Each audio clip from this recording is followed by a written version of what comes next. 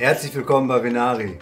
Du bist stolzer Besitzer eines HIC Micro Wärmebildvorsatzgerätes, eines TA19C, eines TA35C oder sogar eines TQ50C und es geht dir ziemlich auf die Nerven, dass gut nach zweieinhalb, drei Stunden Nutzung deine Batterie bereits leer ist, dann haben wir vielleicht eine Lösung für dich. Bleib dran.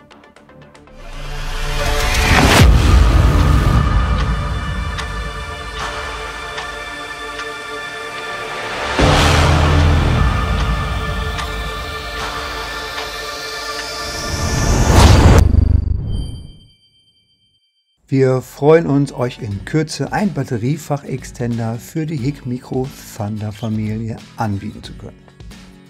Mit diesem Batteriefach-Extender seid ihr dann in der Lage, euer HIC Micro Thunder mit zwei CR16650 Hochleistungsakkus zu bestücken und eure Akkulebensdauer auf gut 6 Stunden zu erhöhen.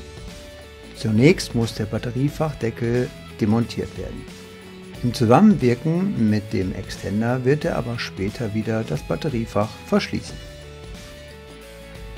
Der Batteriefachdeckel wird nun mit Hilfe der zugehörigen Schrauben mit dem Batterieextender verschraubt. Nun kann der Extender auf die ursprüngliche Position des Batteriedeckels aufgekippt und mit zwei beigelegten Madenschrauben zunächst auf der Oberseite befestigt werden. Abschließend wird der Batterieextender auf der Unterseite mit einer Innen-Sechskantschraube M3 fixiert.